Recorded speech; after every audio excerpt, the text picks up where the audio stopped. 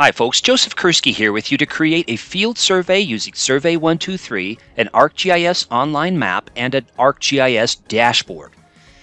It's going to go pretty fast, but I want you to get the idea of two things. A, that the tools are interconnected, and B, they are very approachable and doable.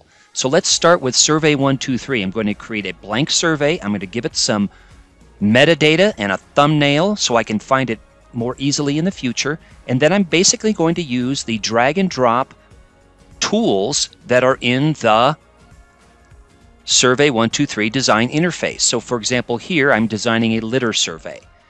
I'm creating a how many total pieces of litter are found within one square meter of this location? And then where is the location? So I'm going to add a map I'm going to do it for a university campus. So I'm going to zoom in that map. I'm going to change it to a satellite image so that the people filling out the survey will be able to go right to their campus. And then a question on do you have a photograph? And then what kinds of litter are found in this place? Glass, plastic, paper, cans, etc., bottles.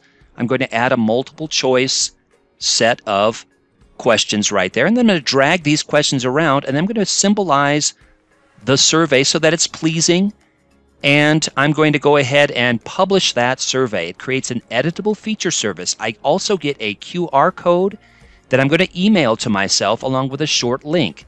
What does the user have the capability of doing? In this case, just I just want them to add records to my survey. I'm going to test the survey out on my phone now, and I'm going to see if that works. I'm going to go to that QR code or, or that link and upload a photo of litter and make sure it works. Great. It's working fine. So that's a test on my phone. In this case, an iPhone. You could test it on an Android or even on a tablet as well out in the field. Okay, so that's looking really good. Now I've got the form inside my ArcGIS Online zone, and I'm going to make sure that it's shared publicly as you just saw me do. Okay, now that I've gone to the metadata and made sure that that feature service is able to be shared publicly, I'm going to go ahead and do that. I'm going to make sure that the feature layer is public as well. I've got my survey right there, and I have the link to it. Let's analyze it now that I've collected some data into it. I've got some data points as well as a couple of uh, metrics, bar charts, etc. that I can look at. So I'm just making sure that I could su successfully add features into that survey. So once I've done that, I'm going to go ahead and er, open that feature service in the ArcGIS Online map viewer and symbolize it based on the number of pieces of litter. I don't like that default range, so I'm going to adjust that a little bit. And I also don't like a, an orange circle, so I'm going to change it to a something that says, hey, this is a problem. Litter is a problem. What can we do about it? Encouraging people to take action about something you're mapping and analyzing. I'm going to adjust the range for those symbols, and then I'm now going to save the map so that other people can examine it. Other people can look at it. The power of WebGIS and ArcGIS Online is to be able to share this. I'm going to share this map publicly so that you and others can look at it. Great. So now I'm going to go back to my form, and you can see that in my end screen, I want to be able to have the user say, ooh, I want to see the results on the map. So I'm going to insert the link for my ArcGIS Online map. I'm going to republish that, and so now I've got the form, the survey, I've got a web map, and now I'm going to create a dashboard. A dashboard is a web mapping application that gives you a real-time feed. You've all seen the JHU COVID dashboard. My dashboard gets one feed and one feed only, and that is from my survey. So I've created my map, and now I'm creating the dashboard. Ooh, look at that. I'm also going to move the content into the same folder for good data management. That's important when you're using GIS. Understand where all your elements are located, locally and then online. Now I'm creating the dashboard. I'm creating a indicator, giving it a title, total number of survey points added thus far, litter points added thus far. I've got two at the moment. I'm going to make it a nice green symbol because I'm concerned about the environment, so I'm making this all green.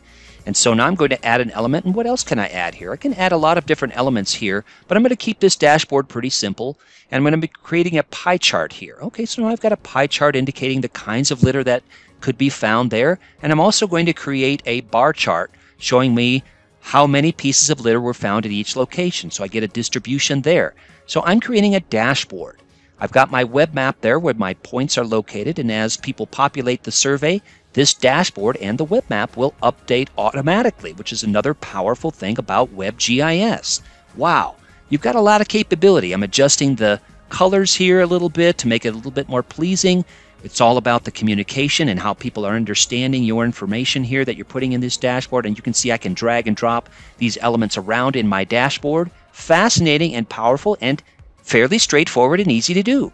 What else can I put in here? I can put a, ooh, what about this? What if I put a legend there? So yeah, now I've got a legend in my dashboard. Nice. So now I've got five elements and along with my image, I've got an image in there now too. So I've got six elements in my dashboard. Again, keeping it pretty simple and I'm going to adjust this ever so slightly so the symbology and the and the legibility is enhanced.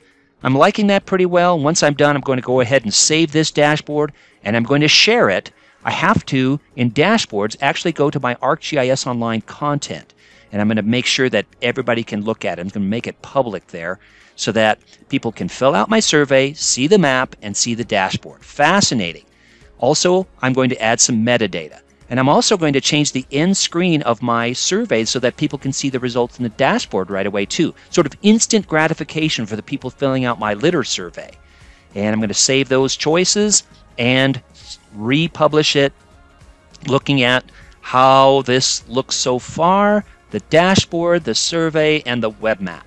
I could, and that's the subject of another video, create a story map that tells the results of my dashboard, and I could do that as well. Okay, everything's looking good. My survey, my map, and my dashboard. Thanks for being with me.